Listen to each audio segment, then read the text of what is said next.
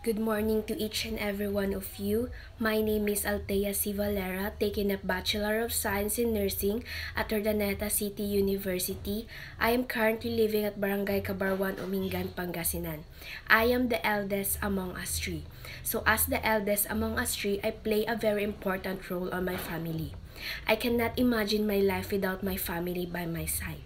Family is very important and valuable to me is something that should never be taken for granted. Without my family, a large part of my life and culture would be missing. Whether it is my grandparent, my brother, my sister, my mom, or my dad.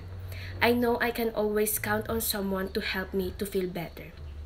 In fact, I think that is a probably the most important thing that my family has taught me.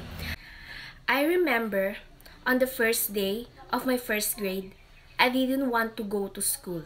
I had butterflies in my stomach and I found it difficult to walk because I was so nervous that time. The only reason that I finally went into the classroom is because of my mom. Walk with me and promised me as soon as the school was out, she would be there waiting for me, ready to bring me back when I feel the most comfortable, my family. Luckily, I'm a little more grown up now. I can now go to school with myself and I'm a college student now. Of course, I know make friends, but none of them will mean as much as me as my family does. So here's the thing. I have something important to say to you. There is no word to describe the relationship of the family. It is limitless.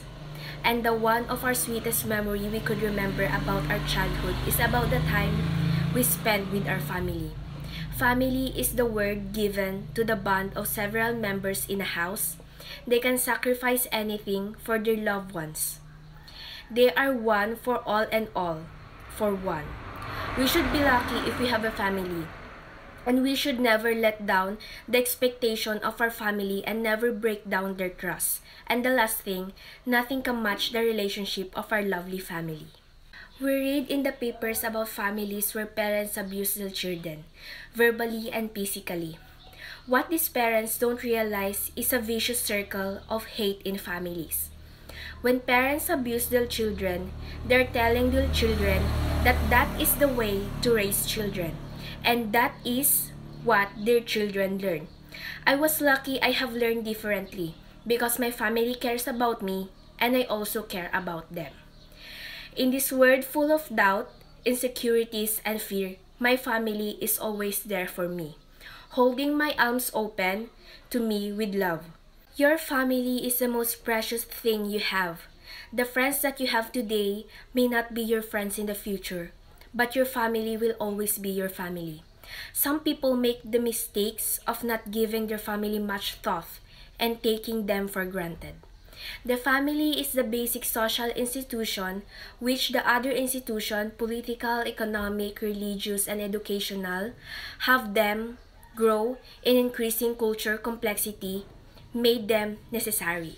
It is the institution which links the individual to a large social structure and that perform the mediating function in the large society. So that's all and thank you.